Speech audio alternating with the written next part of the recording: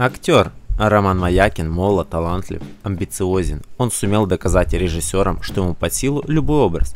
В копилке его ролей есть следователь, наркоман, агент по недвижимости байкер. Если ему нравится сценарий, то он готов работать, что называется, до седьмого пота. До марта 2019 года все считали Романа Маякина примерным семьянином, любящим мужем и заботливым папой. Но он разочаровал своих поклонников, написав на своей странице в Инстаграм, что уже год как разведен. Первые серьезные отношения у Романа Маякина были с коллегой по театру. Ее имя он не называет, но говорит, что их семейная жизнь не отличалась от театральной. Это продолжалось до тех пор, пока ему не надоело. Они расстались. Женщиной по имени Елена он познакомился с легкой руки, своей родственницы. То время Елена была в браке, растила троих детей, но ушла от мужа к Роману. Они расписались, вскоре появился совместный ребенок, сын Миша.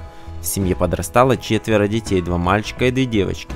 У них собственный дом недалеко от Ногинска. Елена владеет небольшим бизнесом, дети посещают музыкальную школу. Роман в свое время даже шутил, что уже можно создавать свою музыкальную группу. Младший сын серьезно занимается спортом. Что послужило причиной развода, пока неизвестно. Может быть слухи о его романе с Анфисой Черных, с которой он познакомился на съемках последнего героя, однако молодые люди опровергают данные сплетни. В 2020 году у Маякина произошли перемены в личной жизни.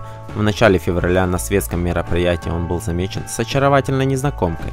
Выяснилось, что девушку зовут София Кофман. Она работает в сфере пиара и не имела никакого отношения к шоу-бизнесу. Пара много времени проводила вместе, путешествовала, а в одном из интервью актер и вовсе заявил, что задумывается о свадьбе.